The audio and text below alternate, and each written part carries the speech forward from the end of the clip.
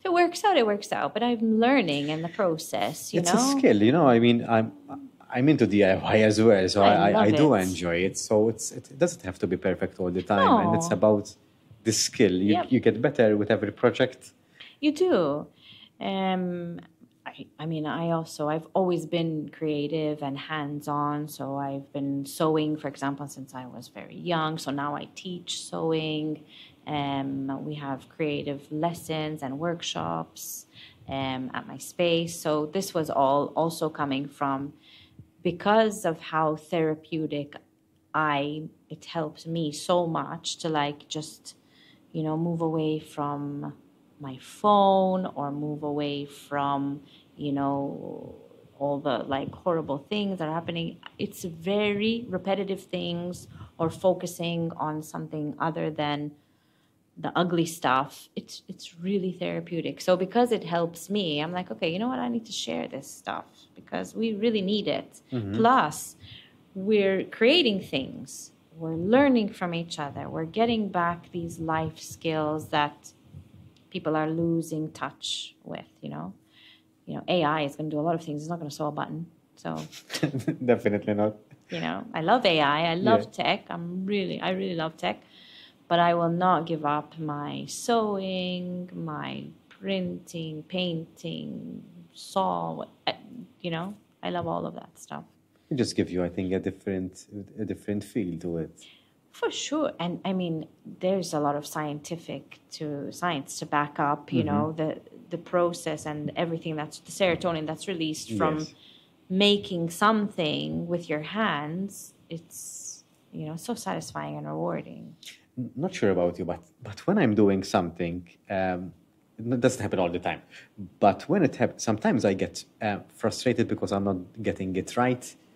But when I'm into it, I, I'm enjoying the process. At the same time, I'm getting certain frustrations because I'm not doing it right. But then I get back to it. Explain I think it's a it's character as mm. well, that side of it. Mm-hmm. Um I've sort of I need to try okay. But I know that when I'm trying, it's not going to be perfect because mm-hmm. when you see perfect works or perfect creations, how long have they been doing it? Yes. So I can't expect if I'm going to do it for the first time, it's going to look like that. No. Yes. Yes. Yes. And this is exactly what I tell like students or people who come to do workshops. Yes, the teachers is perfect, but they've been doing it for years. So give yourself time. And this is the first step to getting there. You have to take the first step to learn to embroider. If you want to learn to embroider, you have to start from somewhere. Yes. You will not just from one time, you're not going to be perfect, Definitely not. you know. It just takes time and It does, and, and, and- and practice, and it's, it's truly about enjoying the and enjoying the, process. process. The process for me is it's beautiful and it's always very fascinating because and I see this in all the all the the workshops that we do. You give everyone the same tools, the same instruction, the same supplies, the same and everyone has something different. It's fascinating. For me, I find it very fascinating because you've everyone is be, is being given exactly the same but the How- how- how- results are so different. I mean, it's uh, if it's the same color. I mean, it's, how do you obtain different results? Well, no, they won't be the same color. Okay, so we but, can But least the- even you know, for example, we do crochet. Let's Mm-hmm. say crochet. So everyone's hand tension of way they hold the hook is very different, even though they've been given the same hook and the same yarn. Uh, for example, lino print.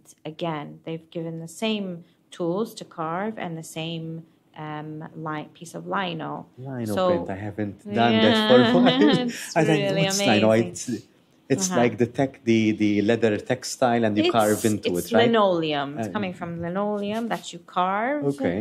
And then you print. Yes. Um, so you have the special ink. And again, the, the depth of their carving, you know, even if you've given them exactly the same picture, they don't, because the teacher instructs them to do their own um, drawings. But the way they hold the tools, as deep as they carve, even the way they mix the ink, the way they put the ink onto the, It's fascinating.